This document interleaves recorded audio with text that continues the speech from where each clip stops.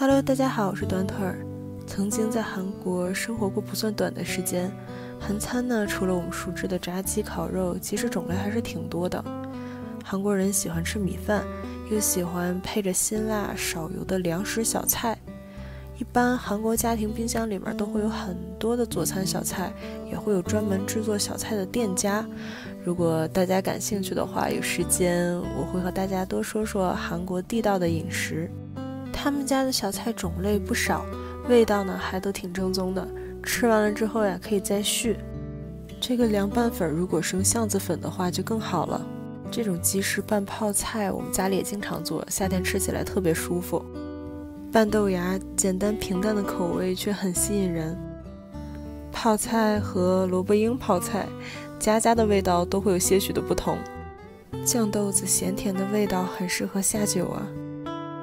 南瓜粥的味道也是一如既往的软糯香甜。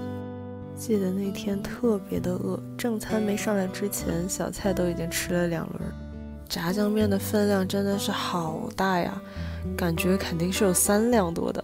建议几个人点一份就好，甜咸甜咸的味道，不知道你会不会喜欢？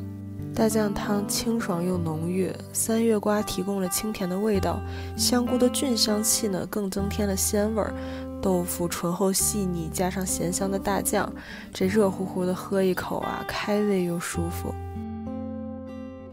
好久没吃韩国各种种类的煎饼了。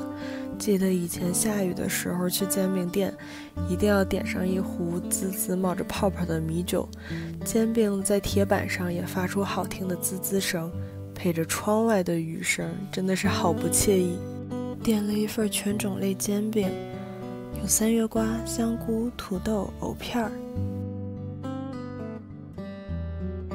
如果你也喜欢吃苏子叶的话，那你一定会喜欢这个苏子叶包肉的煎饼，配上鸡蛋的味道真的是太好吃了。他们家的海鲜葱饼真的是料好足啊，在韩国都很少见这么松软、蛋香浓郁的煎饼，一定要稍稍的蘸一点酱油，不仅去掉了油腻感，味道呢也是恰到好处。哎呀，现在又好想念以前吃的绿豆煎饼和荞麦煎饼啊！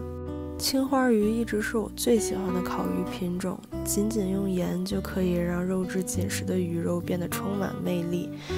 一定要记得把鱼肉剔下来，混着饭一起吃，你会觉得一碗不够，再来一碗。突然想起了上学时候，学校后门的大妈，每次去吃饭都会多给我们盛一些肉肉，说孩子们在外学习不容易，要多吃点儿，身体好好的，才不会让家里人担心。那一段求学之旅，很感激遇到了很多亲切友善的人，让我在异国他乡也能感受到亲人般的温暖。食物真的很神奇，有的时候一些很久远的记忆也会在食物中被重新勾起。不知道又有哪些美食承载着你的独家记忆呢？那我们下期再见，晚安。